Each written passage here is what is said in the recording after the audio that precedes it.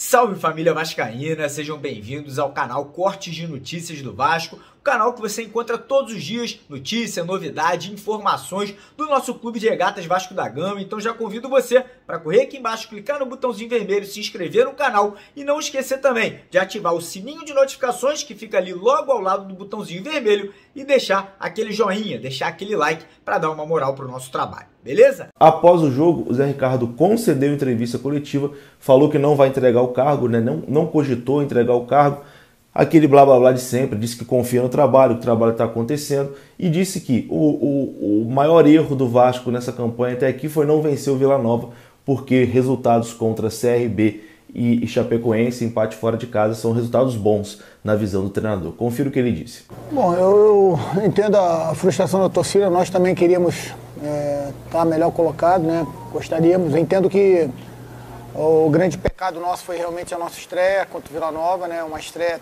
sempre colocada com, com seus elementos. Mas a gente está vendo os resultados da Série B, jogos muito parelhos, equilibrados, muitos empates. E a gente entende que se tivéssemos vencido na nossa estreia, levar um, um ponto contra o CRB em Alagoas e aqui, que é sempre muito difícil jogar, é, as coisas estariam melhores. Mas nem tudo sai como a gente quer, né? Em relação ao que aconteceu ontem, eu entendo essa frustração, mas também tenho certeza que essa não é a maneira correta de protestar, né? Como eu falei contigo também antes da, da, da nossa, do jogo acontecer, entendo que esse é um problema muito mais é, profundo do que simplesmente o que vem acontecendo é, com treinadores, com equipes, com jogadores. Nós tivemos isso recentemente com atletas que por, pouco não, não, se feriram de forma mais grave. Né? E a gente entende que essa não é a maneira correta de protestar.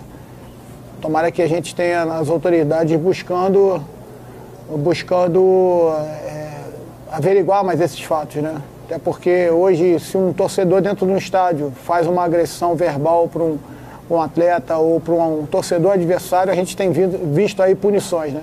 E também, por que, que não é, fora dos estádios, né? Então, assim, está faltando valores na sociedade brasileira. Isso se, se conserta com a educação, e que não é uma transformação muito simples, né? Educação é um país que peca na, na no investimento, a educação, uma hora ele vai pagar o preço, seja ele em qualquer parte da sociedade seja. E o futebol é uma caixa de ressonância daquilo que acontece no dia a dia, né? Tomara que não aconteça mais, porque eu não desejo é, ver cenas como essa com, com ninguém que trabalha no meio do futebol, em qualquer meio, né? Acho que as coisas podem ser resolvidas de outra forma.